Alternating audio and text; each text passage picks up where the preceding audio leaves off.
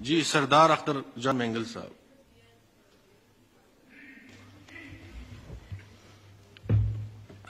बसमीम शुक्रिया जनाब डिप्टी स्पीकर साहब।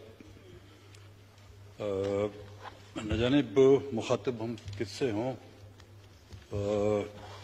संजीदगी का तो मुजाहरा सवालतों पर ही देखा जा सक रहा है। अब मेरे ख्याल में हम दीवारों से और छतों से मुखातिब हों तो बेहतर होगा, क्योंकि कहते हैं कि जी दीवारों के भी कान होते हैं और छतों के भी आजकल कान लगे हुए हैं। जनाब डिप्टी स्पीकर साहब, मैं आपकी तवज्जो चंद अहम इश्यूज़ की तरफ़ ले जाना चाहूँगा। जिसमें बलुस्तान और आपके मुल्तान के जो निस्तर हॉस्पिटल में जो लाशों के जो अंबार लगाए गए थे। जब स्पीकर साहब, जियारत का एक वाक्य हुआ था 14 जुलाई को, जिसमें नौ अफराद की लाशें गिराई गई थी। फिर 15 जुलाई को दो और अफराद की जो है लाशें गिराई गई। दिखाया ये गया जी कि ये दहशतगर्द थे। और इन्होंने आर्म फोर्सेस पर हमले किए हैं और जिसके नतीजे में उनके साथ फोर्सेस का मुकाबला हुआ और वो मार दिए गए। इसी तरह 16 अक्टूबर को मस्तूंग के काबू इलाके में पाँच मजीद अफराद को इनकाउंटर करके मार दिया गया। और 17 अक्टूबर को एक बार फिर वही तारीखें दोहराई दी गई चार और अफराद को खरान में जो है गोलियाँ मारकर शहीद कर दिया गया। जनाब स्पीकर साहब, हुकूमतें बदलती रहती हैं, जमहूरी हुकूमतें भी आती हैं गैर जमहूरी हुकूमत भी आई है, इलेक्टेड हुकूमतें भी आई हैं सिलेक्टेड हुकूमतें भी आई हैं नॉन इलेक्टेड हुकूमतें भी आई हैं। हैवी मैंडेट के साथ भी हुकूमतें आई, बगैर मैंडेट के साथ भी हुकूमतें आई। लेकिन बलुस्तान के हालात क्यों तब्दील नहीं हो रहे? 1947 से लेकर आज दिन तक, सूबाई असम्बलियों से लेकर सेनेट सेनेट से लेकर कौमी असम्बलियों तक, हम रोज़ाना, हर रोज कोई ना कोई एक मसला लाके ऐवान के सामने हुक्रानों के सामने रखते हैं। लेकिन बलुस्तान के हालात तब्दील क्यों नहीं हो रहे? मुख्तलिफ़ पॉलिटिकल पार्टियों की हुकूमतें आती हैं। निज़ाम तब्दील किए जाते हैं। आइन में तब्दीलियाँ लाई जाती है। लेकिन बलुस्तान में क्यों तब्दीली नहीं आती? इससे तो हमारी उन बातों की तस्दीक होती है कि बलुस्तान को चलाने वाले हुक्मरान नहीं। बलुस्तान को चलाने वाली वो कुतें हैं जिसने रोज अव्वल से बलुस्तान को इस मुल्क का कानूनी समझा हुआ है। जनाब स्पीकर साहब, मैं वो लिस्ट आपको मुहैया करूँगा। खारान में सीटीडी के हाथों मारे गए तीन अफराद की शनाख्त हुई है। एक का नाम फरीद, दूसरा सलाल और तीसरा वसीम ताबिश। फरीद वल्द अब्दुल रजाक बादेनी सकना नोशकी को रवा साल 28 सितंबर को अबडक किया गया था, जी। और सलाल वल्द अब्दुल बाकी सकना नोशकी को 6 अक्टूबर को कोयटा से उठाया गया था। वसीम ताबिश को 9 जून 2021 में खुजार से जबरी गुमशुदा किया गया था। इनकी तस्वीर भी है हमारे पास। वसीम ताबिश एक स्टूडेंट था। और उसका गुना और कसूर यह था कि उसने मिसिंग पर्सन के हक में कुछ शेर बोले थे। इस मुल्क में शायरी करना भी जुर्म है। इसकी मिसाल, हबीब जालिब की कैद की वो दौर हमें याद आ रहे हैं। यहाँ पर लिखना भी गुनाह है। यहाँ पर बोलना भी गुनाह है। आप लिखें तो आप उठाए जाएँगे, आप बोलें तो आप उठाए जाएँगे। आप एहतजाज करें तो आप उठाए जाएँगे या गायब किए जाएँगे। कहीं हम इस मुल्क का नाम तब्दील तो नहीं करना चाहते। जिसको पाकिस्तान बनाया गया था, उसको कहीं हम गायबिस्तान में तो तब्दील नहीं करना चाहते। काबू से जो लोग जिला मस्तूम में सिक्योरिटी फोर्स के हाथों मारे जाने वाले, शहीद किए जाने वाले में हबीब रहमान वल्द अब्दुल समद लांगो जिसके लवाकीन का कहना है कि हबीब को सात साल कबल कोयटे से अगवा किया गया था। और इसकी एफआईआर भी केची बेग थाने में दर्ज है।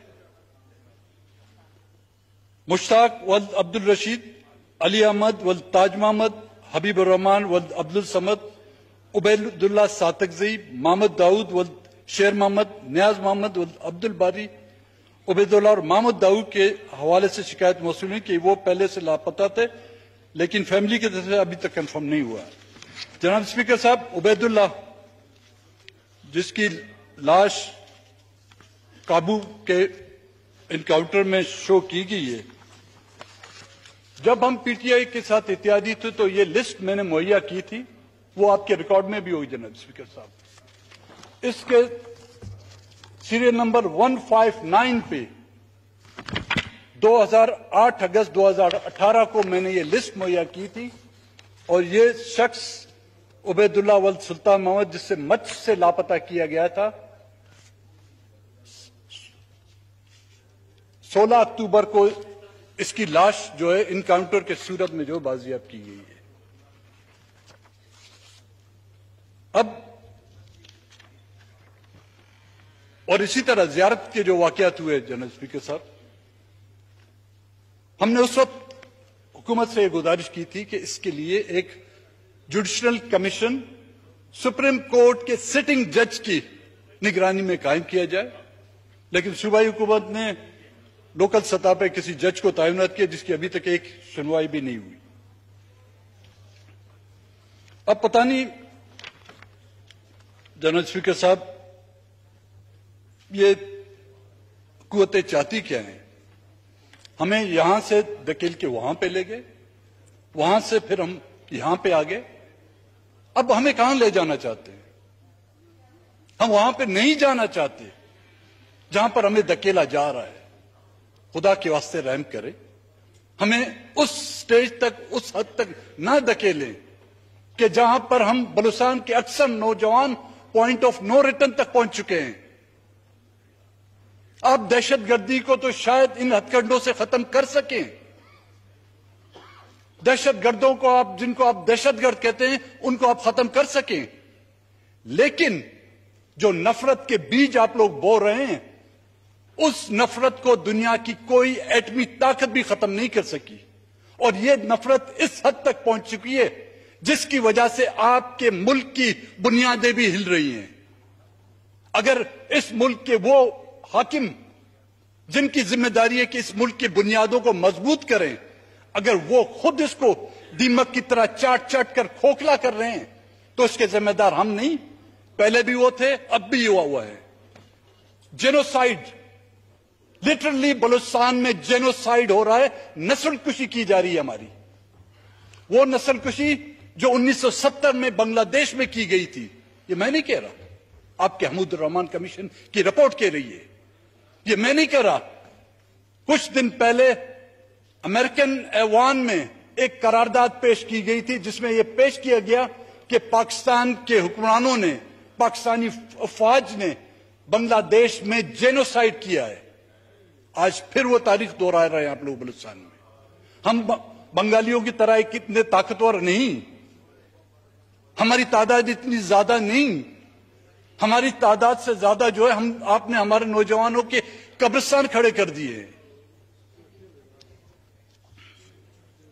और कहते हैं कि जब भी हम हुक्मरानों से बात करते हैं, कहते हैं, ये लोग तो जी अफ़गानिस्तान में अफ़गानिस्तान से आते हैं, यहाँ पे कार्रवाई करके चले जाते हैं, फिर अफ़गानिस्तान भाई, एक जमाने में अफ़गानिस्तान तो आपके हाथ में नहीं था। अब तो माशाला अफ़गानिस्तान आपके बकौल, आपकी कोशिशों से जो वो आपका मुल्क का पांचवा सूबा बन गया है। और वहाँ पर आपके बगैर चाहते हुए कोई चिड़िया पड़ तक नहीं लगा सकती। तो कैसे? अभी भी वो लोग अफ़गानिस्तान में बैठे हुए वो एक की तादाद नहीं है, हज़ारों की तादाद है। अगर वो अफ़गानिस्तान में है तो उनके लिए माजर कैंप बनाए गए होंगे। क्या उनके लिए कोई वहाँ पर कोई माजर कैंप बनाया गया है जिसमें वो अभी तक हैं? लेकिन हैं अफ़गानिस्तान में। लाशें यहाँ से बरामद हो रही है। स्पीकर साहब, इनकी शक्ल सूरत देखे आप।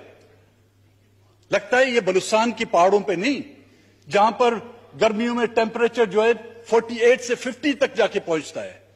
लगता है सियाचिन या कश्मीर की पहाड़ों में इन्होंने जंग लड़ी होगी। जिनकी रंगत जो है, वो सब्ज होने की बजाय और गोरी चिपटी हो गई है। उनका हुलिया उनका दाढ़ी का तराश कोई भी पहाड़ में बैठा हुआ शख्स जो है ना, अपने साथ फाइव स्टार का जो है बार्बर या हजाम लेके नहीं घूमता होगा। जो उसकी दाढ़ी भी तराशे और उनके सबके बाल, बालों को जो है ना, एक ही तरस से काटे। ये सिर्फ़ एक ही कुतें कर सकती है। जिनके बारे में हम जब कहते हैं, कहते जी, आप इदारों के बारे में बात करें। तो भाई, किसके बारे में हम बात करें? यह आफत तो खुदा ने तो हम पे नहीं लाई है ना। इसके जिम्मेदार क्या यहाँ के हुक्मरान नहीं? वो कुतें नहीं, जिनके हाथों से रोज़ाना हमारी लाशें उठाई जाती है? ना धकेले हमें उस स्टेज पर। और एक बार हम लोग उस स्टेज पर चले गए तो फिर वापस आने की फिर हमसे उम्मीद ना रखें।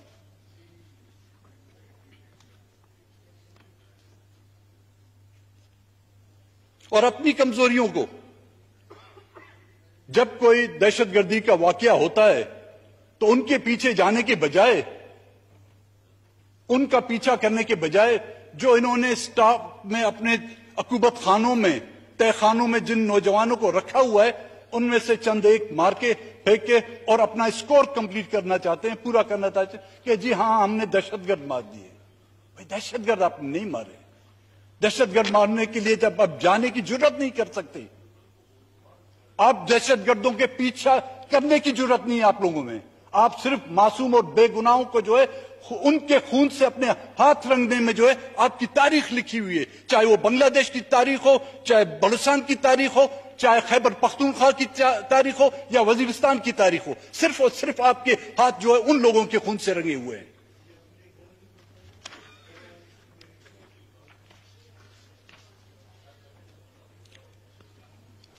जो आपका मुल्तान का जो निस्तर हॉस्पिटल का जो वाकया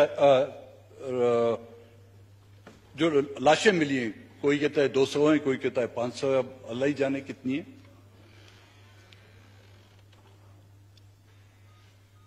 कौन है ये लोग? इसी मुल्क के बाशिंदे?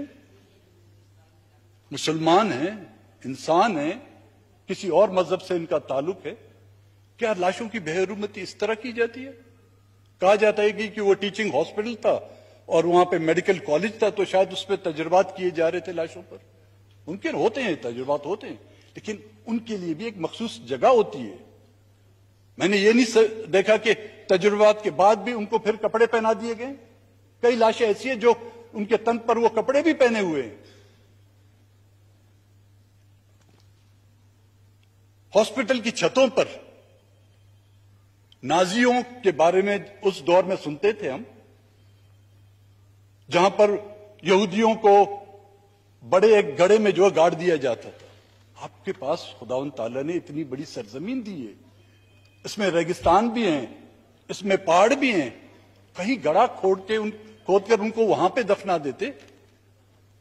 उनको चील और गिदों के हवाले कर दिया उन लाशों को। अब कम से कम अगर इस पर पर्दा फाश हो गया है तो मेरी ये रिक्वेस्ट होगी कि उनका डीएनए हर एक बॉडी का जो है डीएनए टेस्ट किया जाए। उससे मालूम हो कि वो कहाँ से हैं, किस इलाके से हैं, उनके रिश्तेदार कौन हैं। कम से कम अगर वो मिसिंग पर्सन में हैं तो उनको तो तसली हो जाए कि हाँ जी, हमारे वापस ज़िंदा तो नहीं आए, एक ढांचे की शक्ल में वापस आए। और इसी तरह, इस वाक्य की जियारत खारान और मस्तूम के जो फेक इनकाउंटर किए जा रहे हैं मेरी ये गुजारिश होगी जनाब स्पीकर साहब आपसे, कि इसके लिए एक हाई लेवल की judicial inquiry commission supreme court के सिटिंग जज के सरबराही में कमीशन बनाया जाए, अगर इन मामला को हल करना चाहते हैं। नहीं तो इस मामला को आप इसी तरह डील देकर और चलाना चाहते हैं। हमारी सिर्फ़ ख्वाहिशात और हमारी तरजियात इलेक्शन सिलेक्शन और वर्ल्ड बैंक आईएमएस या एक्सटेंशन हुई तो फिर रहने दें इसको। अगर हमारी तरजियात में इलेक्शन और सले, वो सिलेक्शन है तो फिर इनको इनको रहने दें। आखिर में आपका शुक्रिया अदा करूँगा। बड़ी नाउस जी।